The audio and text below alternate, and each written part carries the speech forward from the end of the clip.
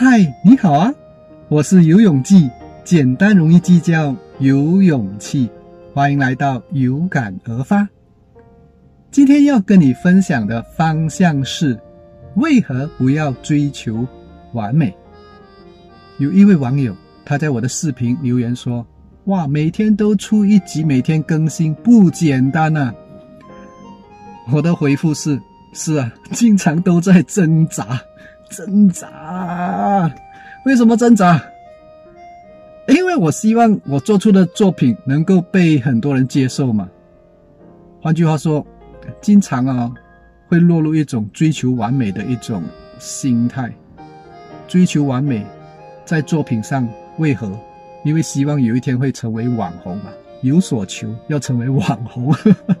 为什么网红？因为有名有利有地位吗？我在追求这一个吗？探索更高一点的层次，网红再上去，其实追求网红是为了什么？追求存在感，什么感？存在感，什么感觉？其实是追求那种舒适感，那种快乐的感觉，那种幸福的感觉，那种成就感。其实那个才是我们真正要追求的。坦白讲。做出完美的作品就会成为网红，就能够得到那种存在感吗？其实，很多的大成功，说白了，需要靠什么呢？运气。很多的大成功，很多时候都是意外啊。这有的时候不容我们去否认它的，我们不得不承认，其实运气大一些意外的存在，是对我们的。大成功有很大的一个影响力，所以我在追求完美的话，一定会成为网红吗？不见得嘛。可是追求网红一直挣扎的话，就不会得到那种存在感哦，因为还没有得到网红嘛。所以与其这样子，不如直接就去追求那一个吧。怎么样才会得到那个幸福感啊、快乐感啊、舒适感啊、跟成就感呢？其实。我个人觉得，我们要注意我们的关注力。关注力在哪里？关注力在做自己想做的事。因为一旦我们做想做的事，心里面就很舒服。一旦舒服的话，就会屏蔽掉外在对我们的认可，给我们的那种快感了。因为自己在做自己喜欢做的事，想做的事，那就已经满足了那种感觉。我不知道你明白我的意思吗？所以做视频对我来讲，也是一种很舒服、我想要做的一个事情。因此，虽然挣扎，可是那种挣扎跟另外一种的挣扎是不一样的。这个是自愿的。那今天要跟你谈的就是为什么不要追求完美？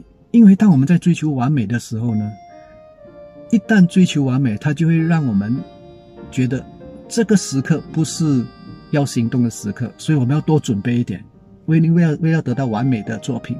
所以当我一直在准备的时候，他就压抑了我的行动。一旦压抑了我的行动，他就不会有作品出现。不会有作品出现，不出现的话，就不会被世界看到，就很更难得到别人的认可，或者是更难传播我们的一个自我品牌，更难被看见。所以啊，做出作品。更重要，因此，我有一个想法：每当我不知道要怎么做的时候，或者是没有灵感，或者是在挣扎的时候，我就会告诉自己，完成比完美更优先。完成比完美更优先呢？只要我完成就好，降低标准不一定要追求完美，我完成就好，因为我把。更多的关注力放在个人的成长，而不是看放在被人接受的结果，不是放在完美的作品。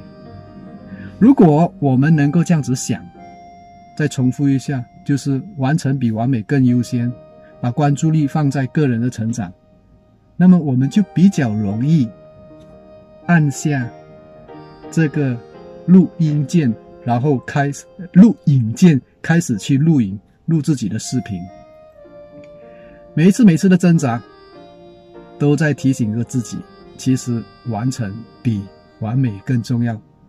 只要去做就好，有做就好。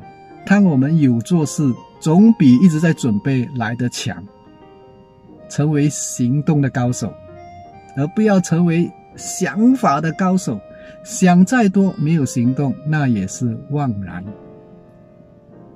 浪费精力，内能的耗损而已嘛。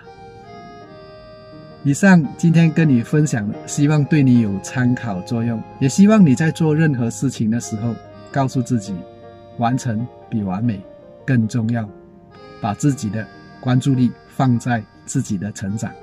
我是游泳记，简单容易计较，有勇气。下期节目再见，拜拜。